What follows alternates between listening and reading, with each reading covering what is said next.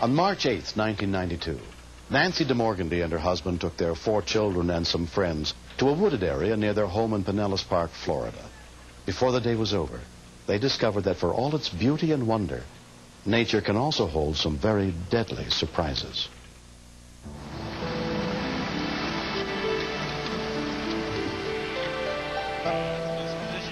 We decided to go on a nature walk to get away from the traffic and the people and just have fun. So off into the woods we went. My husband Daniel always walks a little bit ahead of us. He's got a walking stick he carries and kind of scares off any lizards or anything that us girls might not like around. All right, careful. We make a lot of noise. Walking through these woods, of course, you're crunching on leaves and breaking branches. We didn't really think that there would be anything out there to really be afraid of.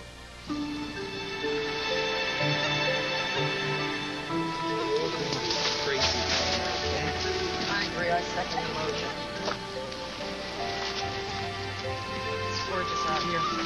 beautiful out here, but I'm tired of walking.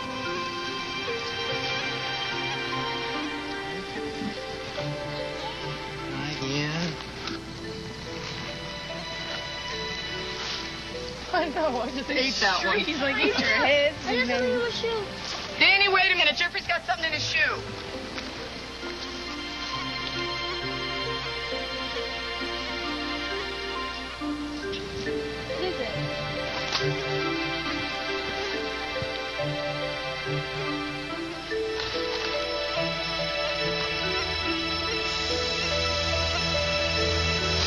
Felt a, a thud or a push on my left leg, like Jean had kicked me, like he wanted to like slide down my leg and walk.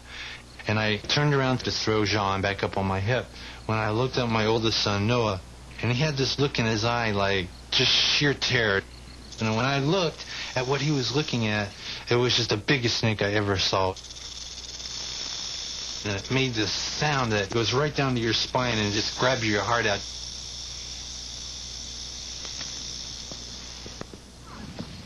Danny, what is it? Danny! And I checked Noah. I says, "You okay?" He said, "Yeah, yeah, I'm okay." And then I checked Sean, and I started frisking him from his shoulders, and I came down to his butt. I was scared, but I didn't understand what had just happened. Danny, what is it? I turned around and I pulled his pants down, and I, I just saw blood. I didn't know it was a rattlesnake until I heard the sound. It was like a death horn. He's been bitten. I have to go. God, Terry. With all of my being, I ran just as hard and as fast as I could because I knew that this is a life and death situation. Because I knew the size of my son, I knew how big the snake was, and I just put just all this anger and frustration and just just everything that I had in my body to, to running to get him to the fire station. Come on, buddy. Come on. As I was running through the woods, he's getting real sleepy. He's starting to get real heavy and real limp. And then I'm thinking to myself, my God, my son's going to die right in my arms. Come on. So I was yelling like, please, Lord, just don't let this happen to my son. Daniel drove Jean to Pinellas Park County Fire Station 36, less than a mile away.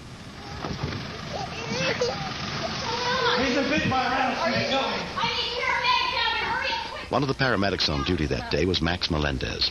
Right away, when I saw the fan marks, I was looking at at least three inches wide, blood still oozing out.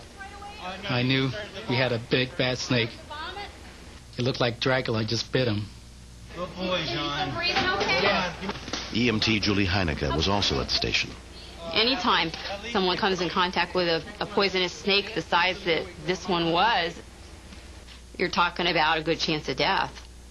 Size of ET2 for me. Five. We got help. Five. Get out since you're ready. Five. Give me five. In the little boy's case, where he got bit, there was no way for us to treat it. Boy. We got help. What he needed was antivenom. Hold on. You get ready, put him on the board. I knew if I didn't get him to the hospital right away, One, two, three. the little boy would die. The station had no ambulance. With time running out, Jean was put in a fire truck to be taken to the hospital.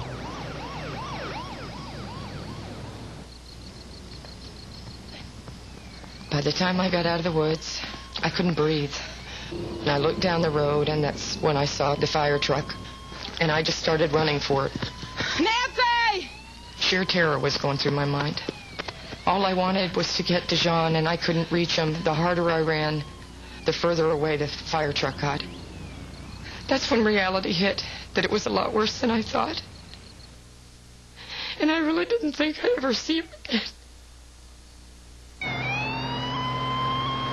Justin six. Please advise man on north side. Still breathing. Stay with us. I'm sitting there and I'm looking down at Jean, and he takes these three heavy sighs, and then his body went totally limp. I mean, I was holding his hand, and I could just feel his life force just like leave his body. That's what it felt like. A little bit longer. I just fell to pieces, and I just started screaming, Jean, Jean, don't do this, don't, don't die.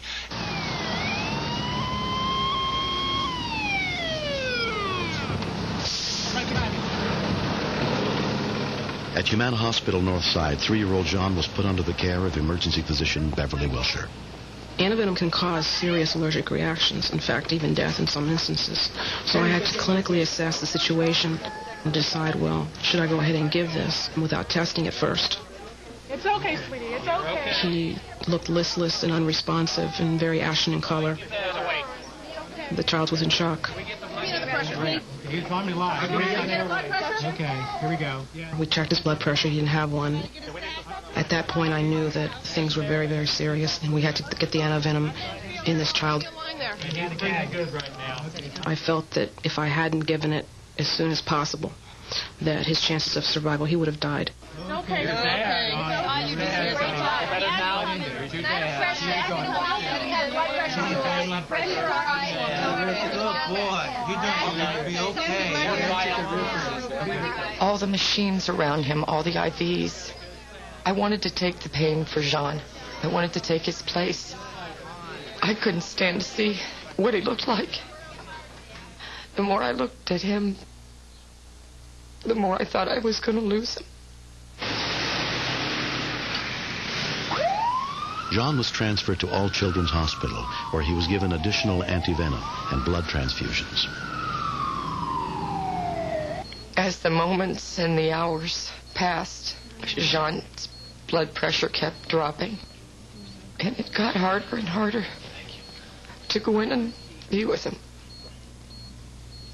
The harder they tried to fight the venom, the more the blood pressure dropped, the more the blood broke down, and it got to the point where everything they tried seemed to make him sicker. After three days, the little boy's condition slowly began to improve.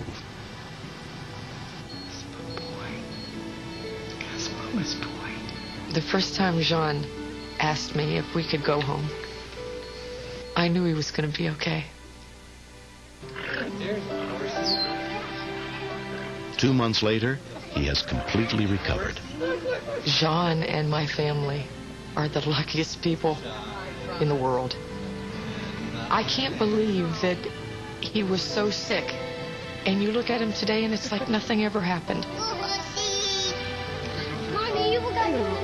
He's so bouncy and full of life that when I look at Jean, my heart just melts. Hold on. Hold on. I could never show enough gratitude to the paramedics and the nurses and the doctors. They gave me my baby's life. I thank them. And I love them. Give him a carrot. Here, put it on your hand flat like that. Real flat. There you go. Real flat. I did everything humanly possible to save my son, and I know that Max did everything he could, and the hospital did everything they could, but when it, it all comes down to it, it just wasn't his time to go. Good Boy. Good boy. Next, I couldn't believe it was happening at all. I thought my friend was dying.